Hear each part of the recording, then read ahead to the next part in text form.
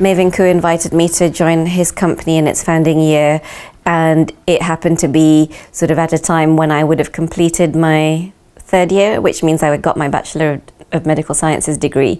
And it just fell at a better time. So I took a sabbatical from the university, thinking that I'd go back after a year.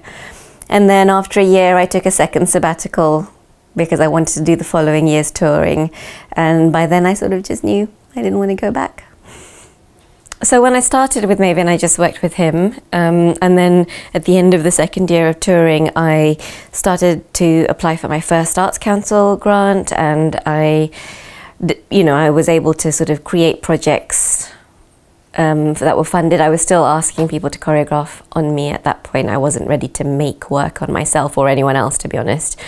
And then during that time, I decided why not try something. So then I chose to ask Kamala if she wanted to work with me, and we made our first piece together. And then, you know, that sort of continued as a collaborative partnership for a few more years. And then I started, yeah, doing more stuff on my own, but also working with other companies, either as a dancer, a deviser, a choreographer, and then on the other on the other side of that, making my own work with my own dancers. So just filling my cup from all directions. The experiences that I have as, as a brown woman, basically, as a, as a woman of colour um, in this country, and the things that are expected of me when I, you know, when I'm encountered, and, you know, with one of the films, uh, one film that uh, I made with uh, Kamala and Maria Akerson, um, The Art of Defining Me, that was based on the fact that I had an interview with someone to be a sort of outsourced dance teacher, you know, just for workshops. And the teacher complained that I didn't pretend I was from India because evidently to them it wasn't good enough that I was a diasporic Indian person who practiced and worked very hard as an Indian classical dancer. That didn't seem to be authentic enough. And so that was a you know really stressful experience being fired from something because I, I didn't pretend to be something else for their to appease their you know idea of what Indian means and um, but I also think internally we are very much in the South Asian sector I think we have to be really careful not to pander to the white gaze and not to not to appease that just in order to succeed. And I think one of the things that I found was a lot of sort of language around South Indian, South Asian classical dance forms, especially Bharatanatyam, uh, constantly being described as ancient and temple and one of the oldest dance forms and all of those things.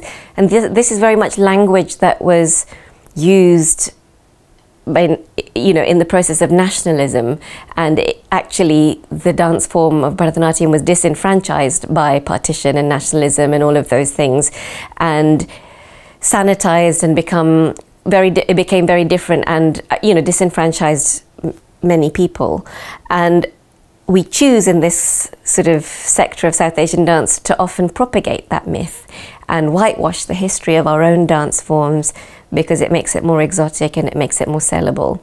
And so this idea that, you know, we ourselves are whitewashing things just sort of made me look deeper at what else was whitewashed. And evidently, you know, our histories are so whitewashed because they're written by the victors. And it just opened up this sort of avenue of exploration even more.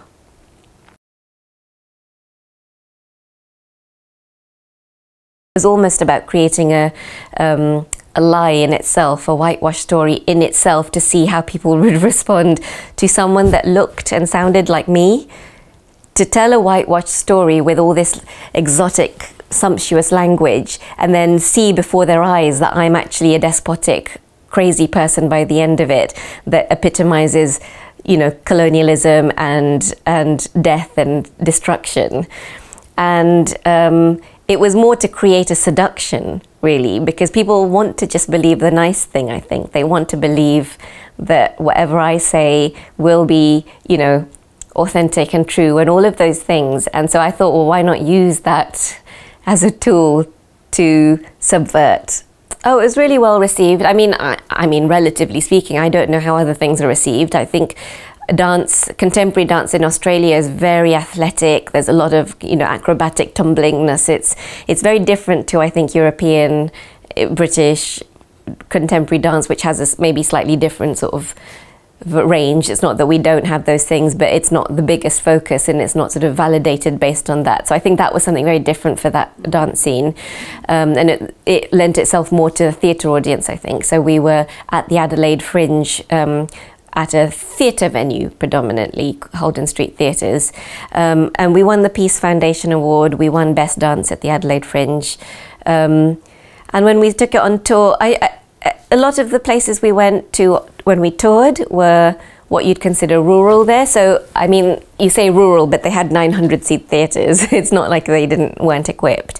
Um, but it was predominantly white audiences in those places. It's only when we went to more more of the met metropolitan cities like Melbourne and, and Adelaide uh, and um, those sorts of places where we got a slightly different audience. And, and during the Fringe, where you know, indigenous couple of indigenous Australian people would come up to me and just, you know, and even in the UK, people of color have come up to me to say that this puts into like like it it puts into shape something I didn't have the words to describe. They, like you see the violence from the start in the piece, even though it's done in this sort of seductive way.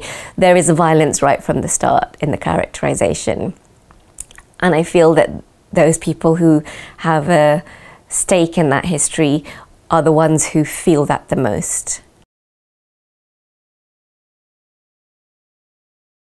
When I did this work, the Not, Not Today's Yesterday work, it was spanning over so many years, developing, being performed quite a lot, and I still love doing it. I hope there's more life in it yet. But you know, you come to a point where I'm ready to make something new now. And because something was such a big part of you and so inspiring to do, it's almost difficult to think, well, how can the next thing measure up to that? And so I'd be, you know, thinking about things. And then I had a another idea which I started to explore. It wasn't the film, it was a bigger project. Um, but one of the scenes in that project was about the British Museum and how we look at brown, white, and black bodies, and what how we describe them, how we talk about them, and. Um, and then I was offered something from Chats Palace as the opportunity to create a short film, and I wanted to. It was a, such a tiny resource.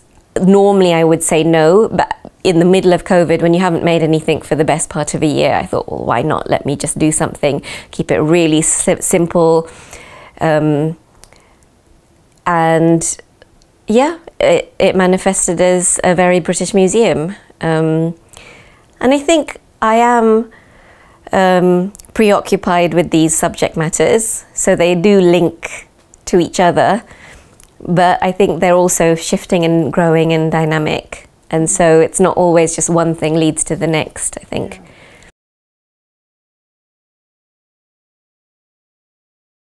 Oh gosh, um, again, it started off very uh, experimentally in as much as I'm not a fan of group Bharatanatyam, never have been.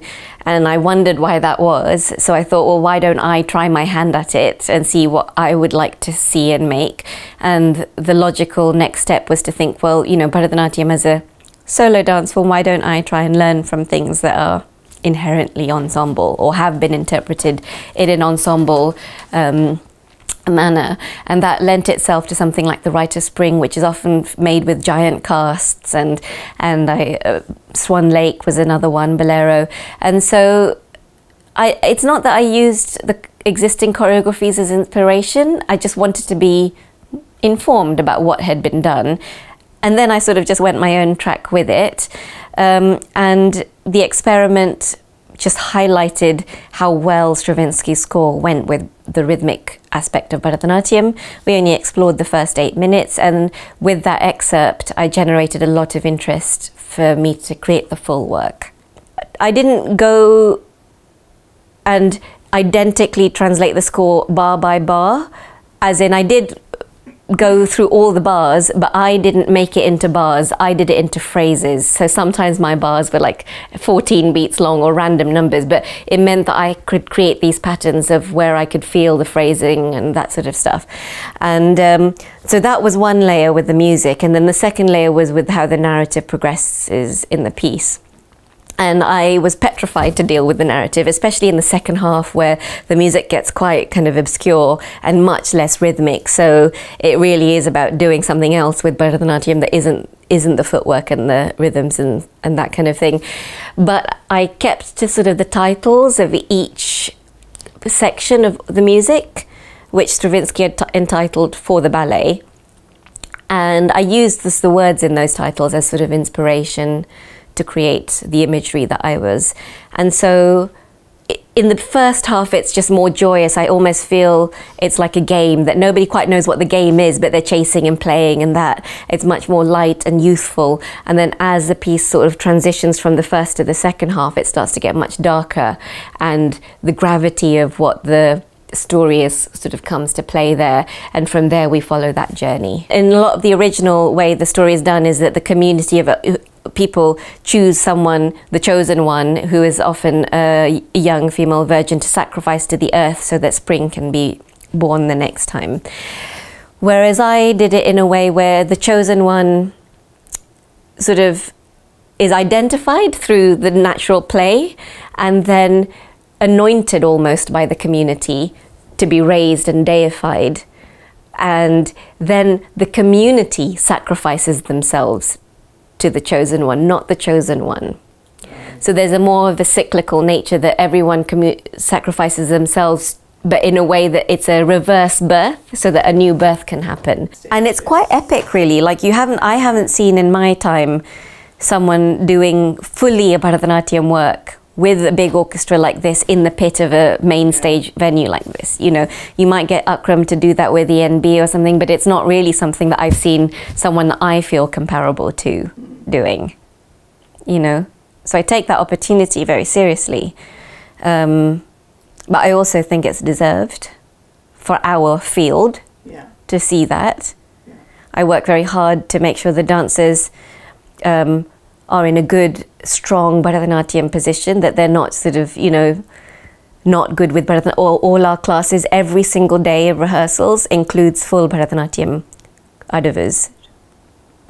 You know, very strict about those sorts of things because I think we can't rest on our laurels when we're up on such big stages. Even if people have never seen that form before, we have to present it the best that we can.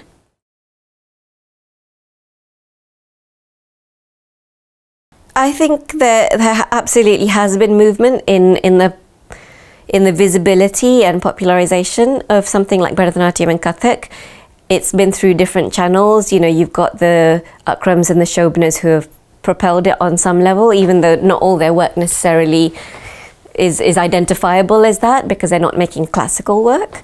Um, and then you've got things like BBC Young Dancer, where you you know you've seen some young dancers coming up through that, where their dance form has never been really experienced on a mass scale like that, and and now now it is. Um, and then at grassroots levels, you've had the development of CAP programs and ISTD and things like that, which give people more tangible sort of outcomes. I mean, it's debatable how, how good those things are because I still don't necessarily see a translation into the professional sector. I think there's still a bit of a gap with, with that and trying to encourage and support dancers to take it take dance as a full-time profession culturally speaking it has its it has its barriers as well within family situations and things i don't really identify I think with my politics, with a lot of people within the South Asian sector, I feel a little different with some of them, and and